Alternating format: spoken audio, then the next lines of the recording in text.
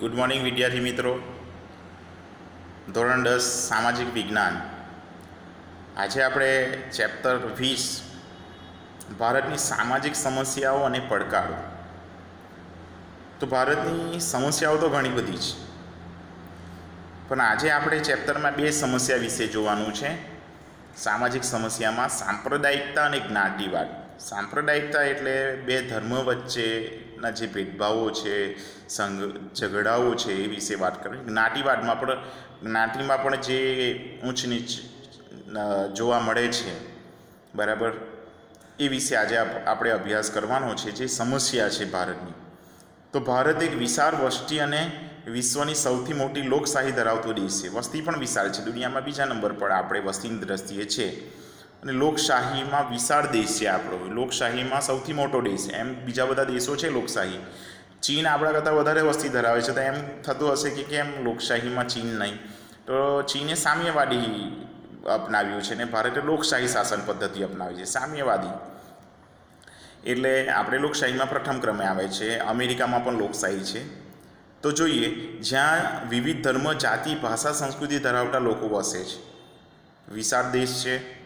વસ્તી પણ વધારે છે એટલે ભારતમાં વિવિધ ધર્મના લોકો રહે છે, વિવિધ જાતિના છે, વિવિધ ભાષાઓ છે અને વિવિધ સંસ્કૃતિ ધરાવતા લોકો વસે છે.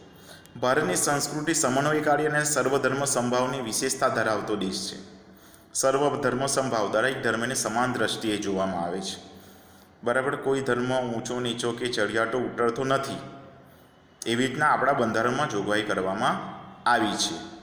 પરંપરાગત સમાજમાંથી આધુનિક સમાજ તરફ ગતિ કરતા ભારતીય સમાજમાં અનેક પરિવર્તનો આવેલા છે. પરંપરા કે પહેલાંનો જે સમાજ હતો હાલના આધુનિક સમયમાં પરિવર્તનો આવ્યા છે. આજે આપણે વેસ્ટર્ન કલ્ચરને અપનાવતા થયા છે સમાજની અંદર. પહેલાં ઘૂંઘટો તાણીને રહેવું પડતું હતું મહિલાઓએ. બરાબર, અમુક હકોથી વંચિત રાખવામાં. આજે પશ્ચિમી સંસ્કૃતિ ઘૂમતો તો દૂર થઈ ગયું ફેશનેબલ બની ગયા છે. એટલે ઘણા બધા પરિવર્તનો આવ્યા છે. પણ સાથે સાથે કેટલીક સંકુચિતતા પણ આપણા મગજમાં ઊભી થઈ છે, જે ધર્મ અને જાતિ વચ્ચે સંઘર્ષ ઊભો કરે છે.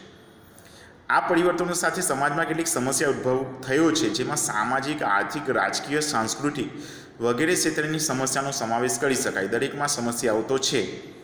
આ પ્રકરણમાં આપણે બે સામાજિક સમસ્યાઓ જોવાની છે, સાંપ્રદાયિકતા અને જ્ઞાતિવાદની ચર્ચા કરવાની છે. મેં તમને સર્વપ્રથમ જણાવ્યું હતું. દેશને સ્વતંત્રતા અપાવવા વિવિધ ધર્મ, જાતિ, ભાષા ધરાવતા લોકોએ સહિયારો પુરુષાર્થ કર્યો અને તેમના પ્રયત્નના પરિણામે આપને આ મહામૂલી સ્વતંત્રતા મળી છે. તમારા મારા કોઈ એકના પ્રયત્નથી કે એક ધર્મના લોકોથી કે એક જાતિના લોકોથી આપને આઝાદી મળી ગઈ એવું નથી. આઝાદી માટે દરેક ધર્મના લોકો લડ્યા, દરેક જાતિના લોકો લડ્યા, સ્ત્રી, પુરુષ બધા જ લોકો આમાં આઝાદી મેળવવા માટે લડ્યા હતા.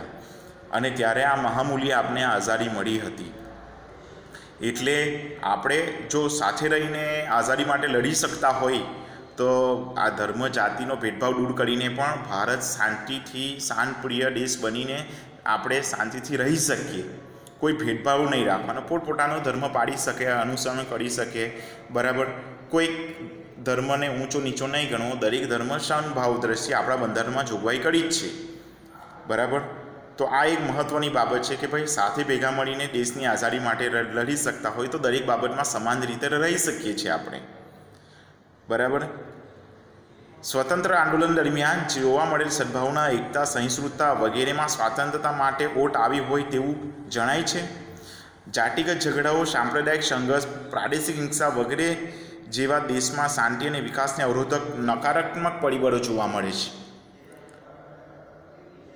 જે દેશ માટે સામાજિક સદભાવના, બિનસાંપ્રદાયિકતા, લોકશાહી મૂલ્યો, રાષ્ટ્રીય એકતા સાથે સામે ગંભીર પડકાર ઊભા થાય છે. બરાબર ને? એટલે આવો જે સાંપ્રદાયિક ઝઘડાઓ છે નાટીવાદ છે, આવું નહીં થવું જોઈએ. બધા હળીમળીને સમાન દ્રષ્ટિથી રહેવું જોઈએ. જોઈએ સાંપ્રદાયિકતા. તો ધર્મ એ શ્રદ્ધા અને આસ્થાનો વિષય છે. દરેક પોતપોતાનો ધર્મ પાડે છે, એ શ્રદ્ધા છે, જેને, જેના પર શ્રદ્ધા છે, આસ્થા છે, વિશ્વાસ છે. શ્રદ્ધા છે, એ પણ વિશ્વાસ એનો વિષય છે. મોટા ભાગે માનવ કોઈકને કોઈક ધર્મ કે સંપ્રદાયમાં માનતો હોય છે. ભારત એક બિનસાંપ્રદાયિક અને ધર્મનિરપેક્ષ દેશ છે. એટલે ધર્મની બાબતમાં કોઈક ધર્મ સાથે ભેદભાવ કરી શકે નહીં. જેને જે ધર્મ પાડવો એ પાડી શકે છે, જે આપણા બંધારણમાં જોગવાઈ છે. તેથી સંકુચિત સાંપ્રદાયિકતાનું આચરણ એ બંધારણની ભાવના વિરુદ્ધ છે.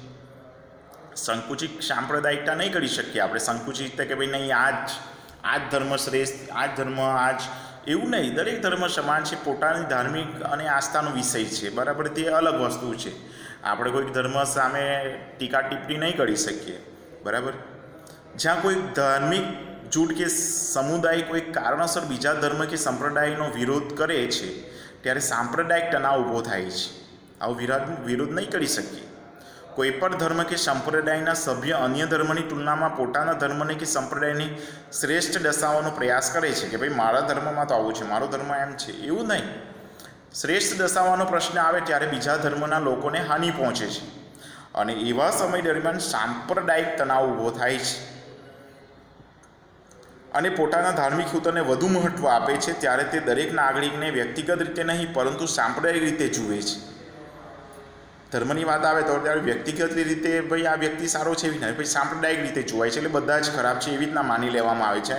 અને ત્યારે સાંપ્રદાયિક હિંસાઓ ઊભી થતી હોય છે. અને આવી વિચારધારા સમાજને વિભાજન તરફ લઈ જાય છે.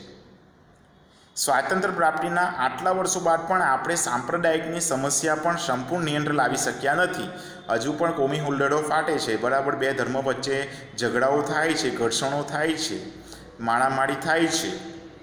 સંકુચિત સાંપ્રદાયિકતા ઘણી રીતે નુકસાનકારક છે. તેનાથી દેશમાં સામાજિક તણાવ ઉત્પન્ન થાય છે. વ્યક્તિ પોતાના બંધુઓને પોતાના વિરોધી માને છે, જેથી સમાજમાં મતભેદ અને ધૃણાનું વાતાવરણ ઊભું થાય છે. સાંપ્રદાયિકતા તણાવથી સાંપ્રદાયિકતા હિંસા કે ઝઘડાઓ થાય છે. આ બધી જ બાબતો લોકશાહી વિચારધારા, રાષ્ટ્રીય એકતા અને રાષ્ટ્રના વિકાસ માટે ખતરારૂપ છે. બરાબર? તો સાંપ્રદાયિક આ ઘણી બધા કારણોના લીધે થતા હોય છે. પોતાના ધર્મને શ્રેષ્ઠ બતાવવામાં આવે છે. બરાબર? બીજાના ધર્મ વિશે ટીકા ટિપ્પણી થતી હોય છે. ત્યારે સાંપ્રદાયિક સંઘર્ષો થતા હોય છે, ઝઘડા થતા હોય છે. હવે સાંપ્રદાયિકતા સામે સંઘર્ષ. તો કઈ કઈ રીતે સંઘર્ષ થાય છે? આપણે નેક્સ્ટ પીરિયડમાં જોઈશું. બરાબર? આજે આપણે સાંપ્રદાયિક વિશે અભ્યાસ કર્યો. આજના પૂરતું આટલું જ. અસ્તુ